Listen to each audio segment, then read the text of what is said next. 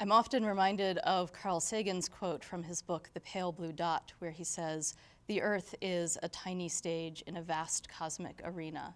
And in all this vastness, there is no hint that help will come from elsewhere to save us from ourselves.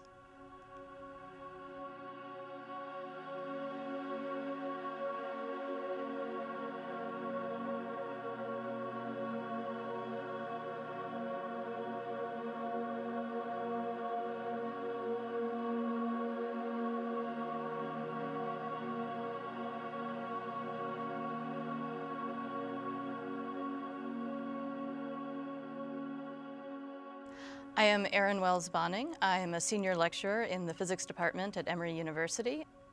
I'm also the director of the Emory Planetarium, which is where we are now.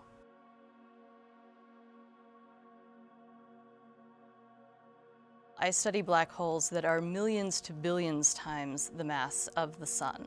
And as far as we know, every galaxy has one of these uh, sitting in the center of, of the galaxy.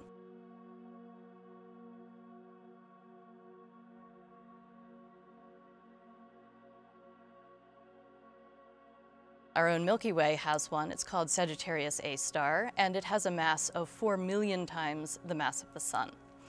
And how we think this happened is this black hole began much smaller earlier in the universe, and over time material fell across the event horizon into the black hole, growing it to, to this enormous size.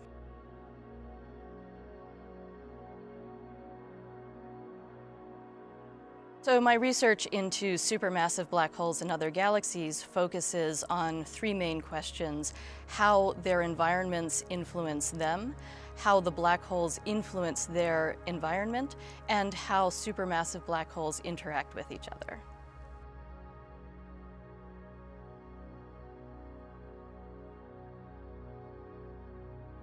I've always been interested in space. Since I was a little girl, I wanted to be a fairy princess ballerina astronaut.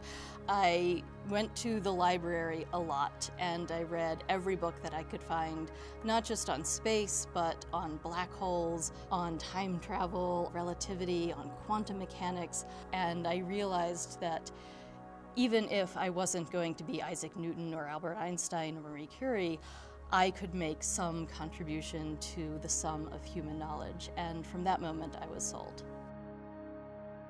Two major discoveries have already been made in my lifetime. One is the direct imaging of the shadow of a black hole event horizon in the galaxy M87. And the other is the discovery of gravitational radiation from merging black holes.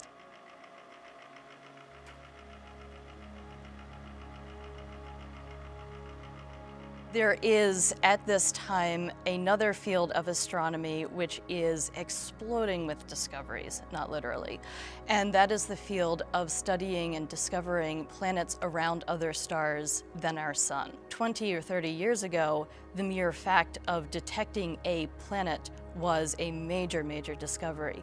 Now we're at the point where we can tell the difference between the daytime and the nighttime side of a planet, measure weather systems on other planets, detect moons and rings around other planets, and we'll be able to observe their atmospheres in great detail.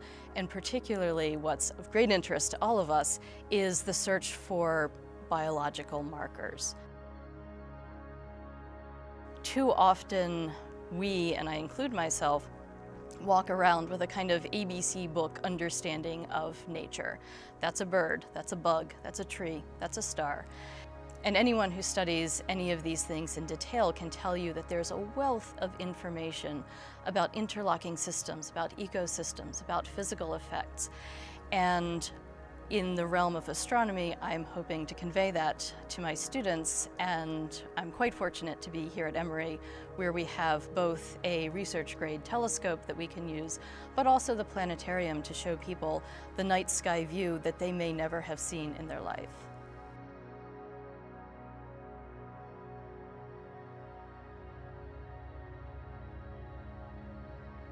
So when I do a planetarium show for students or for the general public, without fail there's a universal reaction, a gasp, because so many people have never seen it.